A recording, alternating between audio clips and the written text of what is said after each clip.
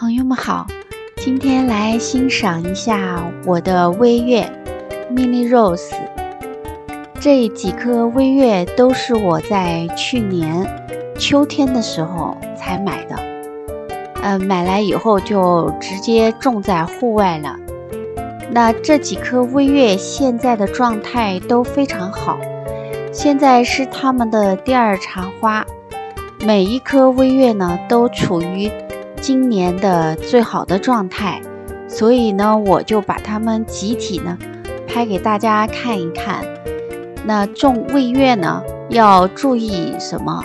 呃，早春和夏季的养护有哪些需要注意的事项？那我呢，当时买来魏月的时候呢，都已经是在秋季，天气已经转凉了。呃，通常呢，在夏季的时候，六七月份是那些大型的月季上市的时候，所以微月那个时候，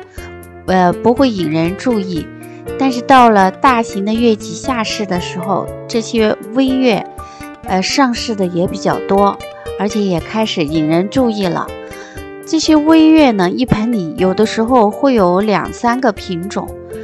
嗯，看上去呢，小小一盆。但其实，它其中蕴含着很强大的生命力。我在许多年前就种过一些微月，呃，我也是很意外的发现，微月是可以在多伦多这种冬天气温有零下，呃，摄氏二十度的这种寒冷都不会冻死的这个情况下，还可以养得特别好。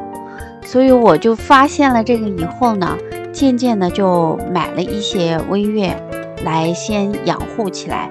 可以说种植微月呢是我，呃学会种植在多伦多这个地段学会种植，呃其他月季大型的月季，呃所打的基础。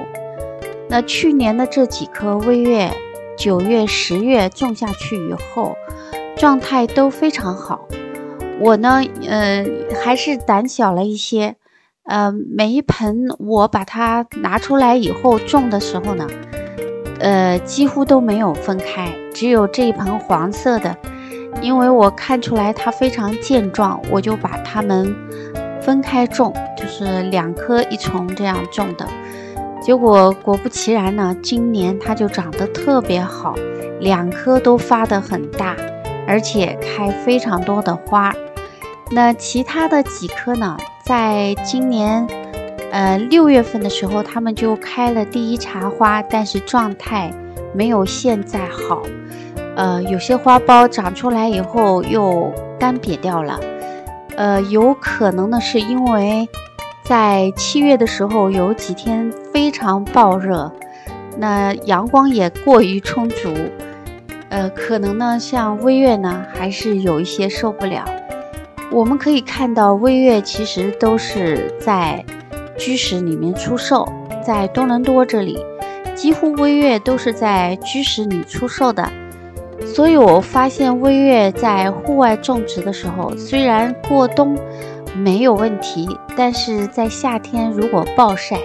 有一些微月呢会长得不好，像这一颗，呃，淡粉的就是这样。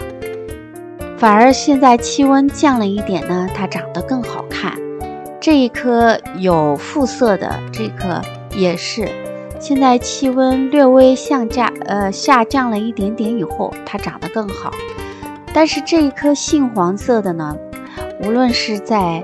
呃天气比较暴热的时候，还是在现在气温稍微有一些下降的时候，它都是长得特别好。所以这个是一个健壮的好品种，而且它的花呢会变色，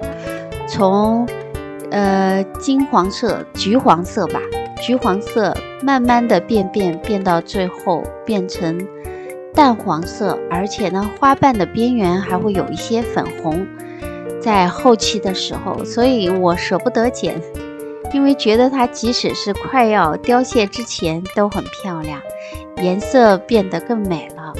比一开始的橘黄色还要可爱，在镜头里面看呢，呃，好像不是那么明显，但仔细看就可以看出来，它又变成了呃淡黄加上粉红，这个颜色很漂亮。尤其从远处这样看过去，朦朦胧胧的那种黄带上粉红的晕染就特别美。而且呢，它也花苞奇多，我想明年可能它会长得更大、更漂亮了，能能够形成一个玫瑰花墙了。那去年买的微月呢，现在开始开第二茬花，而且呢都长得很健康健壮，呃，可见呢微月已经完全适应了我的院子的环境，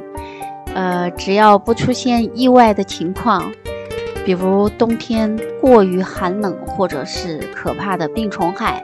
只要没有这些呢，这个微月就会在我的院子里面。